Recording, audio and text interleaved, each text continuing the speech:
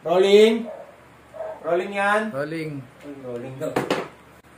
Rolling. Rolling. Rolling. Ginagawa mo. Ano, ano, ano?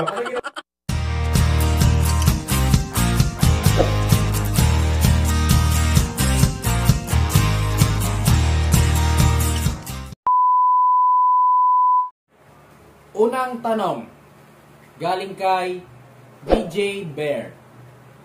Stories about your childhood. Oh, okay. Uh, stories about my childhood. Uh, siguro nung uh, childhood ko, uh, naaalala ko pa.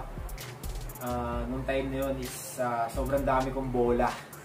Uh, yung lola at lolo ko, talagang support, supportahan ako talaga, supportado talaga ako nila. Halos yung isang basket ng damitan namin, sobrang punong-puno ng bola kung hindi nyo alam. Kaya, sobrang saya ng childhood ko, alam nyo yun, dahil may, may mga tao sumusuporta sa akin, uh, na-experience ko yung life na, ano yung gusto ko, and then yung na-experience ko about na nung bata talaga ako is yung yung namulat ako kung ano lang yung meron ako. Sobrang dugyot. Talagang diba tapos naisip ko din na dapat pala uh, kailangan kong gawin to kailangan kong maging um, motivated every day kaya kaya yun yung mga naisip ko eh nung childhood ako kaya sobrang saya and sobrang the best nung experience ko. Ikalawang tanong, galing kay It's Me, Cielo. Ilang taon ka nag-start ng basketball and why do you choose to play basketball? Um, siguro nung, ito, I remember, 3 uh, or 4 years old, uh, ako nag-start mag-basketball.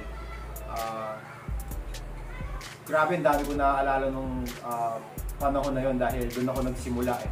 Yung time na yon yan yung wala akong inisip kung anong oras na. Mga halos lahat ng family ko, sila lola lolo ko, tulog na. Ako, naglalaro pa rin. Kumakalabog yung bahay namin. Dahil doon sa, alam mo yun, hindi ko, hindi ko alam na ahantong ako sa part na to, na mapunta ako sa FPU, mapunta ako sa Gilas, di? Sobrang grabe, thankful talaga ako. And kaya napili ko din kasi yung basketball.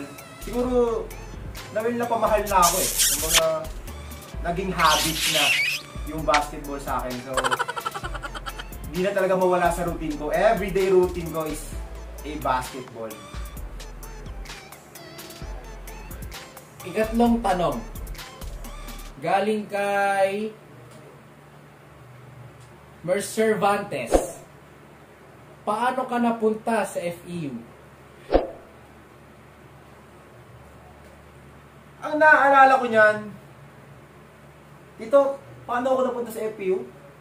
Ah, in-scout ka ni ano, Coach Alan sa Angelico. Angelico, oh, okay. Pagtapos nun, paano? Ah, oh, tsaka yung ano, yung pinapunta ka namin sa FEU. Oh, paano, paano ba? Paano ba ako nakapunta? Nag-commute ka dun. Naligaw ka pa yata. Tapos, umuwi ka ng bahay. Sabi mo, hindi mo nakita yung FEU. Ginagawa mo.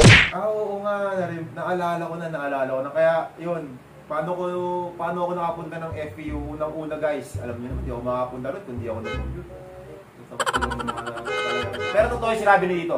Na-recruit ako ni Coach Alan sa Angelicum College nung first year high school ko. So, yun. Galing kay Carl Sanity. Favorite memory as a FEU juniors? Ooh. Memories ko sa juniors, best para sa akin ah.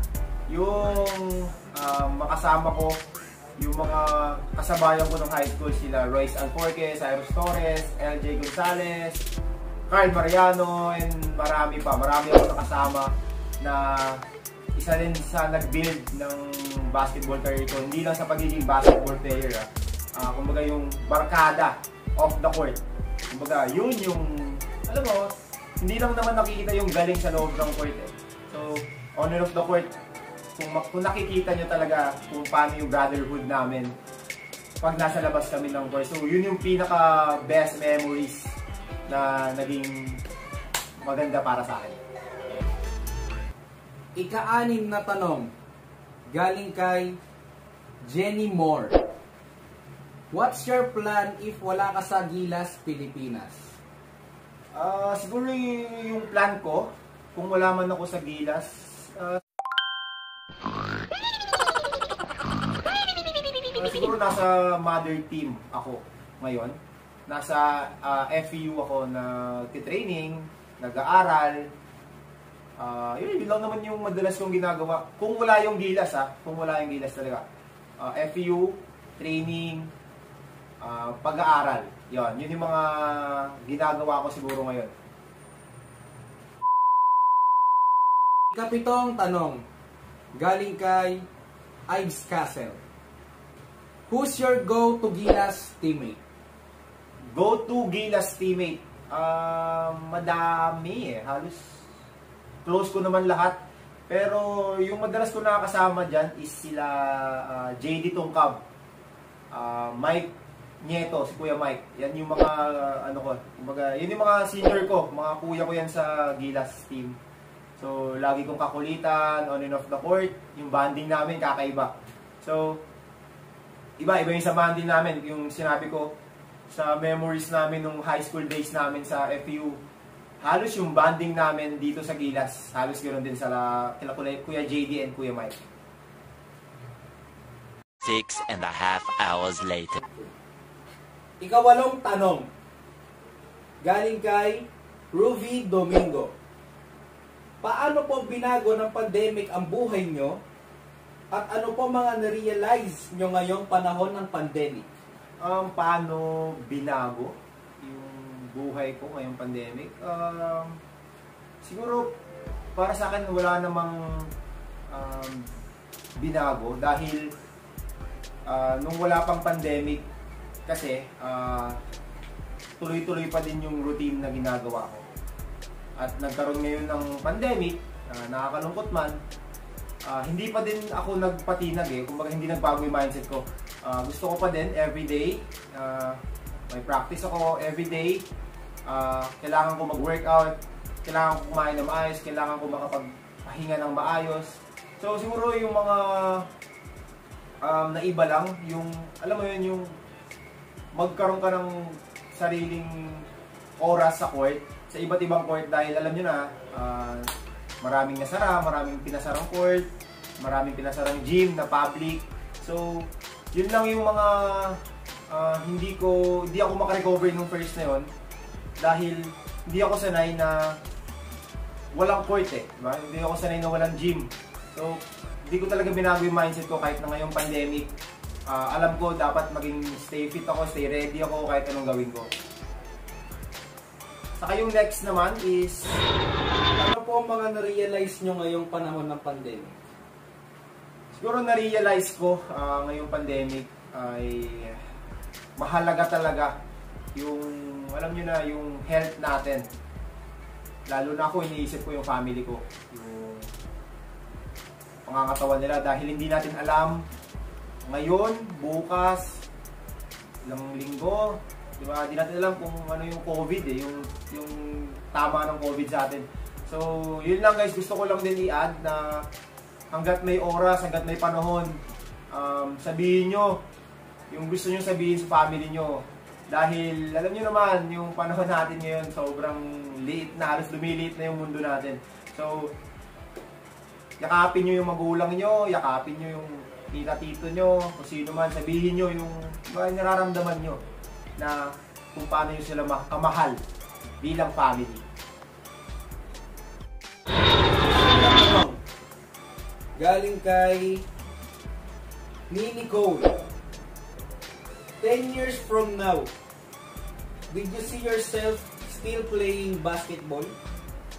10 years from now, yes, na iisip ko na naglalaro ako ngayon sa pro, pro basketball. Di ko di ko masabi kung sa PBA man, sa international or sa ang bansa, ako pwede maglaro ng pro. Pero yung sarili ko na maglalaro sa pro basketball, lalo na ngayong ganito yung mindset ko, everyday routine ko. Tanong. Galing kay Mi Confident. Who's your celebrity crush? Naku, madami. Madami. Pero, ah isa lang sa, isa lang naman, isa lang naman dito sa Pilipinas. Crush ko talaga si, ano eh, si Liza Soberano. Tanong. Galing kay Maria Crizel. What motivates you to keep going every day? Unang-una sa akin talaga pag yun yung mga naririnig ko is ah, family. Ah, family over everything. Yun yung sa akin. Dahil sila yung nag-motivate sa akin. Ah, lalo na yung mga ah, parents ko, tito-tita ko, and bonus na eh. Bonus na yung dahil naglalaro ko ng basketball ngayon. Pero yung ah, yung motivate nila ako everyday, ah, gawin yung part ko, gawin yung tama. Ah, lum- doon ako doon lumalakas, eh. doon nagbo-boost yung confidence ah, as a player. Ah, katulad ko. And uh, gusto ko lang din i-add, ah, ah, nung bata kasi ako, ah, nung unang apak ko sa Big Dome. Kung alam niyo yung Big Dome guys, yan ang Araneta Coliseum ngayon. Yan yung naabutan kong... Di naman ako matanda, di pa naman ako matanda. Pero, yan ang naabutan ko. The Big Dome. Yan ang Araneta Coliseum ngayon guys. Batang-bata ako, hindi pwede na hindi ako makanood ng PBA, lalo na pag game ng tito ko. And guys, kung hindi nyo natatanong o hindi nyo man alam, ah, tito ko pala si Johnny, Johnny A. Johnny Abarientos. Flying A. And siya din yung ah, dahilan na mag-motivate sa akin everyday. Kaya nung first time ko makaapak sa Big Dome, sa Araneta, nakikita ko eh, naging, alam mo yon yung imagination ko nung bata, sabi ko na pa- parang balang araw, ah, makakalaro rin ako dito. Balang araw, ah, ako naman yung mapapanood nyo. Ah, balang araw, may gantong karaming susuporta rin sa akin dahil nakikita ko eh, nakikita ko yung lawak, laki ng Araneta eh. So, yun yung nag-motivate sa akin and yung last, nanonood ako ng Gilas. Halos lahat ng game ng Gilas, lahat nila, Kuya Jason Castro, Kuya Jimmy Alapag, Coach Jimmy. Grabe, ba? Grabe yung, alam mo yun, yung, yung pakiramdam as a Filipino. Pag nanonood ka ng Gilas na pinaglalaban nila yung bansa natin, di ba? Kaya nga para sa bayan eh. So, nung bata ako, tutok ako sa TV, di ba? Yung mga moments na grabe, hindi mo makakalimutan. So, hindi ko ini-expect na yung RJ Abarientos na bata na nangangarap is nasa kalagayan na ngayon na naglalaro for country, naglalaro para sa bayan. So, gusto ko lang din sabihin sa inyo na di ba, hanggat bata pa kayo, mulat na kayo sa mga ginagawa nyo, na alam nyo ng, alam nyo ng tama at alam nyo ng makakatulong kayo at para sa inyo, para sa family nyo, guys. Gawin nyo. Grab nyo yung opportunity. Di ba? Hindi natin alam kung ano yung para sa atin. Pero, guys, control natin yung sarili natin. Yun lang yung gusto ko sabihin. Control natin yung sarili natin. Hindi natin control yung mga sasabihin ng ibang tao. Pero, kung ano ka, kung ano yung napapanood mo, kung ano yung ginagawa mo, everyday, makakatulong yan sa'yo. Sa inyong lahat. Hoy, ano yan? Kung saan tayo mag-bike? Papadya ka pa ba? Ginagawa mo. Alam. Yun guys, gusto ko lang pasalamatan yung sampung tao na nagpadala ng kanilang questions through IG. Hmm. Maraming salamat. Magkita kita tayo sa next vlog.